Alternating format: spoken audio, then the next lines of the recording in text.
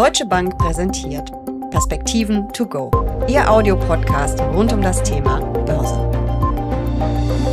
Die Märkte fahren Achterbahn. Die Angst vor einer neuen Finanzkrise ist groß, die Nervosität noch größer. Die aktuelle Lage ist nichts für schwache Nerven. Ist die Lage aber wirklich so schlecht wie die Stimmung oder übertreiben die Märkte vielleicht auch? Darüber sprechen Uli Stephan von der Deutschen Bank und ich in den Perspektiven to go. Mein Name ist Jessica Schwarzer und damit herzlich willkommen. Uli, die vergangenen Tage waren wirklich turbulent. Ja, Jessica, das waren sie, allerdings nur in bestimmten Segmenten.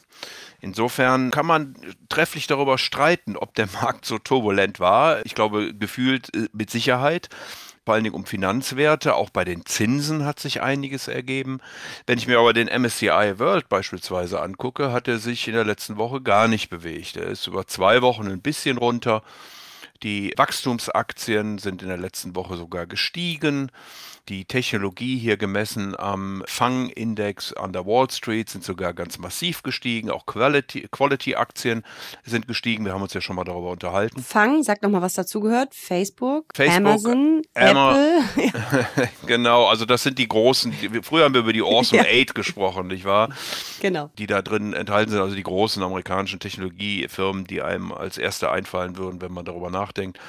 Und wie gesagt, das hat alles doch deutlich äh, zugelegt. Insofern sind es natürlich vor allen Dingen die äh, Banken, die hier nachgegeben haben in der Eurozone seit dem 6.3. um 18 Prozent, in den USA um 22 Prozent.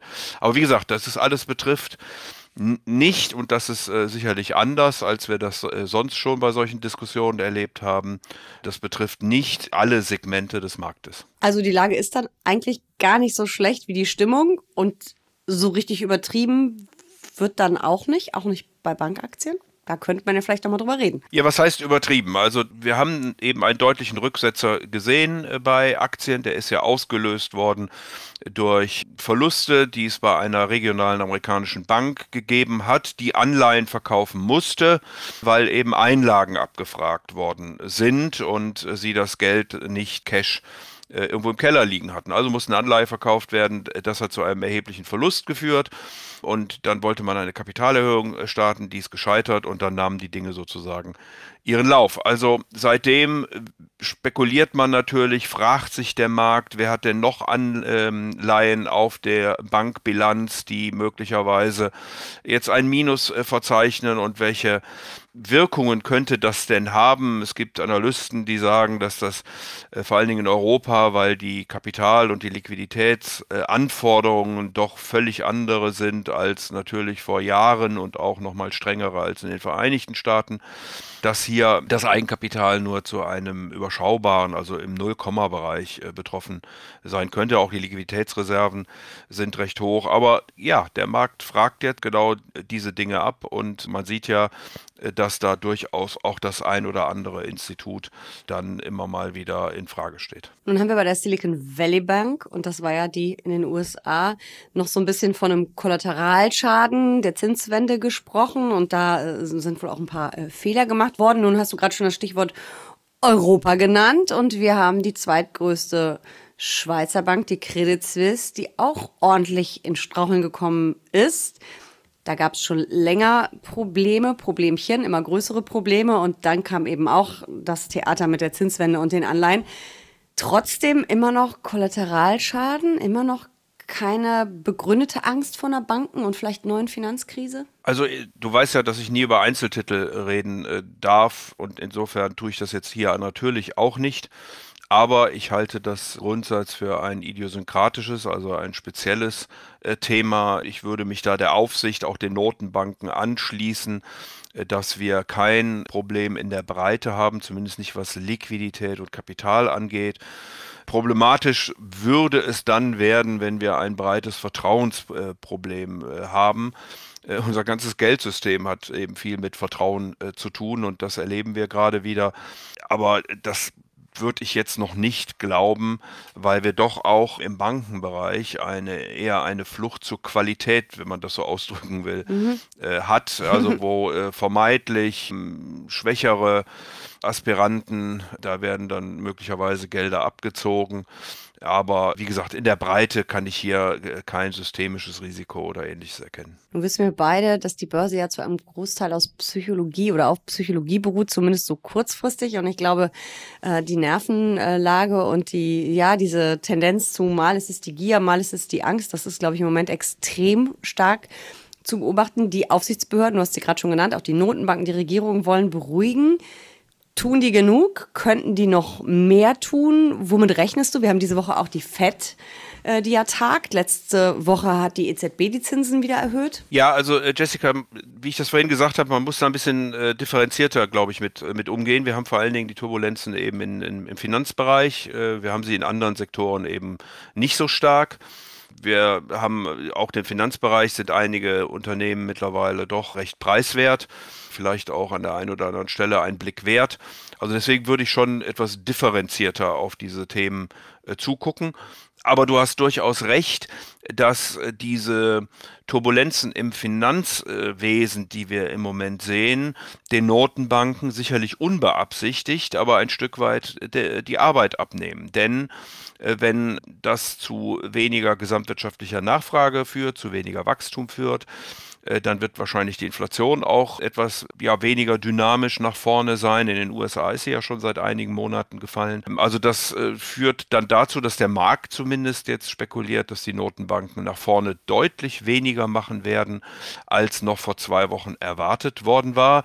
Nun hat die Europäische Zentralbank nochmal einen Schritt gemacht. Das ist, glaube ich, auch richtig gewesen. Sie ist ja deutlich hinter der amerikanischen Notenbank. Bei der amerikanischen Notenbank werden wir jetzt sehen. Die Stimmung ist so zwischen, äh, sie pausiert und guckt sich das zuerst mal an, äh, bis 25 Basispunkte. Viele, die für 25 Basispunkte argumentieren, sagen, dass äh, die Notenbank ansonsten ein Zeichen senden könnte, dass das Problem vielleicht doch größer ist also deswegen schon allein 25 Basispunkte nochmal angehoben werden sollte. Wir werden sehen, wie das ausgeht. Ich würde mich auch dieser 25 Basispunkte Meinung äh, anschließen wollen hier, aber die Notenbanken haben sehr klar gesagt, dass sie äh, sowohl die Geldwertstabilität wie auch die Finanzmarktstabilität im Auge haben und im Zweifelsfalle entsprechende Maßnahmen auch äh, ergreifen. Ein letzter Satz noch, Jessica. Äh, die amerikanische Notenbank beispielsweise hat ja mit äh, dieser Bank in Kalifornien äh, SVB ein sogenanntes Bank Term Lending Programm aufgesetzt, äh, wie also sogar Anleihen dann zum Nominalkurs entgegennimmt, also nicht zum aktuellen Marktpreis, der durch die vorherigen Zinssteigerungen, die er gelitten hat. Das in also einem wirklich zu 100 Prozent. Das heißt, sie nehmen 100 zu 100 Prozent die Aktien zurück, äh, die, die äh, Anleihen zurück. So ist es und das mhm. eben bis zu einem Volumen von zwei Billionen. Also das ist schon mal ein richtiges Fund, was da auf den Tisch äh, mhm. gelegt worden ist. Ich meine, wir haben auch in der Schweiz gesehen, dass äh, Liquiditätshilfen von der Schweizerischen Nationalbank gegeben wurden und ich hätte keinen Zweifel, dass die EZB beispielsweise wie auch andere Notenbanken ähnliche Wege gehen würden sollten sich hier tatsächlich Liquiditätsprobleme ergeben. Aber es gab in den vergangenen Tagen ja nicht nur schlechte Nachrichten, es gab ja sogar mal ein paar gute Börsentage.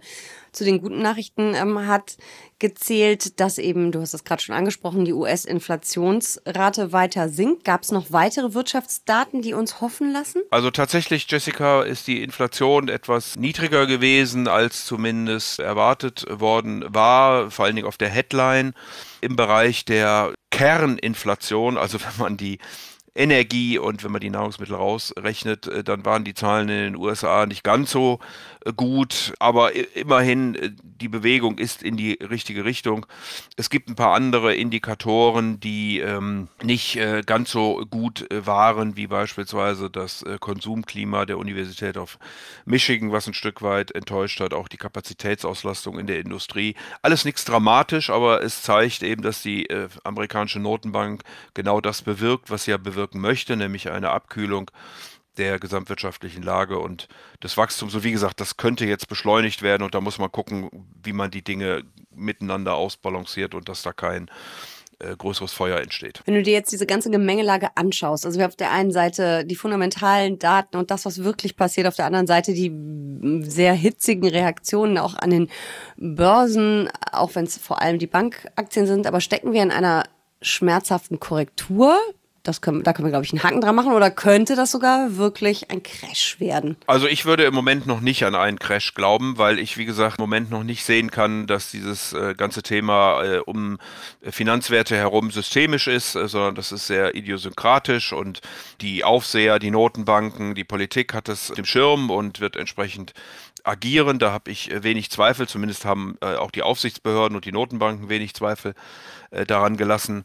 Ja, wir haben äh, sozusagen die Gewinne, die wir im ersten Quartal bisher erzielt hatten, die haben wir wieder praktisch vollständig aufgegeben. Äh, das war ja eine Reaktion, weil der Winter doch milder war, weil wir keine Energiekrise gekriegt haben, weil wir äh, dann doch mehr Wachstum hatten, als äh, erwartet worden war. Das geht eben jetzt ein Stück weit wieder raus. Aber ich habe ja vorhin schon gesagt, man kann durchaus Geld am Markt verdienen.